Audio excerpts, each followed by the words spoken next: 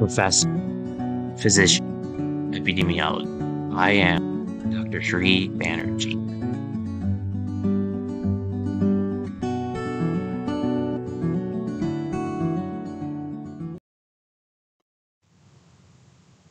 Hi, I am Dr. Sri Banerjee, and in this video I will be going over how to conduct a complex samples analysis. Uh, more specifically, I will be going over um, how to conduct a specific type of bivariate analysis, which is uh, chi-square.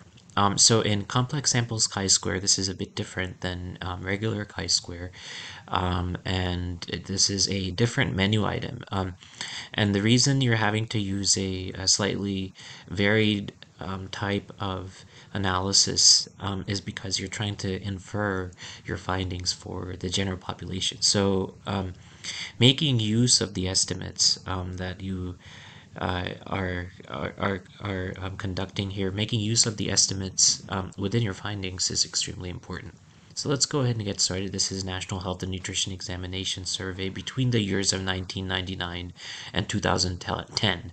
So I've already compiled all of this information within um, this one data set. This is um, roughly 150 variables. Um, and you can see uh, some of the variables in view. Um, the one that is actually highlighted is C-reactive protein. And if you um, watch my videos, a lot of them actually um, go over the details of um, this extremely important biomarker, which I um, not only conducted my um, dissertation, my um, my doctoral dissertation on, but I've written extensively on um, in my other works and um, have also uh, produced some information within my website, which you can go visit.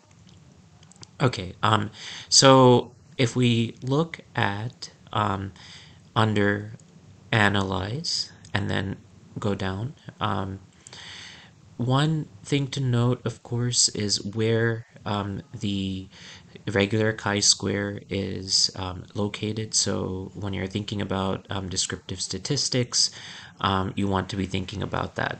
But when you're thinking about chi-square when it pertains to complex samples, um, first you want to make sure that you have prepared an analysis. So that I go over in another video, so um, I won't be actually re revisiting that here.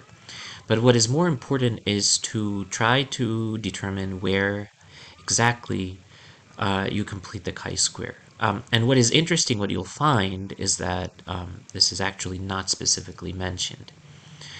So um, let's take a look at descriptives, frequencies. Um, and if we look at the um, descriptives, um, there's the plan.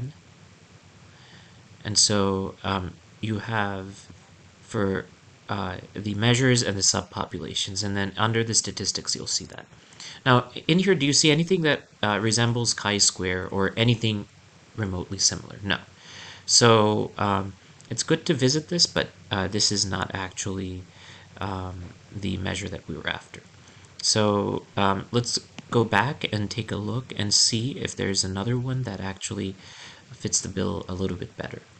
Um, and so, of course, you want to go through the crosstabs. You want to go through the CSA plan. Um, and that was the correct CSA plan. And so this is more resembling something that I was looking for. So this is the crosstabs menu um, where the chi-square resides. Um, so as you can see, I, I, was looking for a variable um, that makes sense here. Um, and Diabetes is a variable that makes sense to me because I've done so much research on it, but not only that, um, it is a chronic disease which affects um, quite a few individuals all around the world. So of course, um, there's a clear link between diabetes and cardiovascular disease, but um, we want to try and test that out um, in the context of our data set here. Um, so cardiovascular disease um, includes everything um, from hypertension to the occurrence of stroke to um, coronary heart disease um, uh, to uh, various other conditions um, that have been identified. So these were all combined. Um, so these are that that is actually a composite variable that I created from other variables um, according to uh, previously um, accepted methods that have been uh, outlined within the literature. Um, so what do you want to select here is column percentage, uh, population size, standard error, odds ratio, relative risk if you want both. Um, and what is important here is test of independence of rows and columns. This is what you want to select. And what is important is that you're actually looking at the F value. Um, you're um, not really specifically looking at chi-square, but the, but the F value is what you're using to then determine independence, which is why it's not explicitly stated as chi-square. So then um, you run the analysis and see um, you have a data table and um, as you can see there is uh, uh, percentage differences um, if you look at the percentage of individuals um, that experience both experience cardiovascular disease um, and and um, diabetes, the percentage of people um, who have cardiovascular disease and are simultaneously experiencing um, diabetes is 25.8%. So versus individuals that don't have cardiovascular disease and experiencing diabetes, that's only 6.1%. So this is a striking difference, and that is reflected by uh, the p-value of less than 0.001. So I've here I'm not only conducted a uh, unique original research question from a nationally representative dataset, dataset Nationally Health and Nutrition Examination Survey, but also I've shown you how to um, run the analysis um, and also uh, a chi-square and a adjusted f value um, for which the significance has been um, provided and then you can come up with your own conclusion um, which shows that there is in fact a significant association between uh, diabetes and cardiovascular disease. Thank you for, for listening to this video.